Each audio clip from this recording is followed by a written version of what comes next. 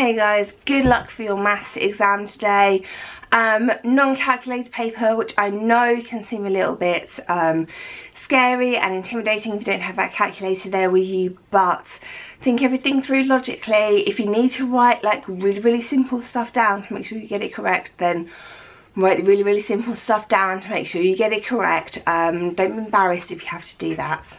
If you haven't already, learning your accurate values of trig and your fractions to decimal conversions would be a really, really good thing to do um, just because they're going to come up in this paper um, and if you know them it'll make your life a lot easier because you'll be able to deal with the questions.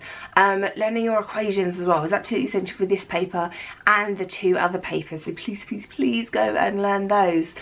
Um, get your highlighter pens out. Don't write your answers in highlighter pens, but if you're doing like a geometry question, highlighting which triangle you're working on is a really, really good thing to do. Um, highlighting the, the numbers in a block of text so you can turn the block of text into an algebra question is a really, really good thing to do.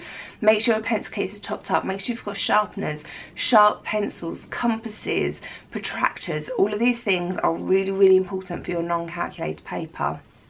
Um, good luck guys. I know um, first exam the new specification.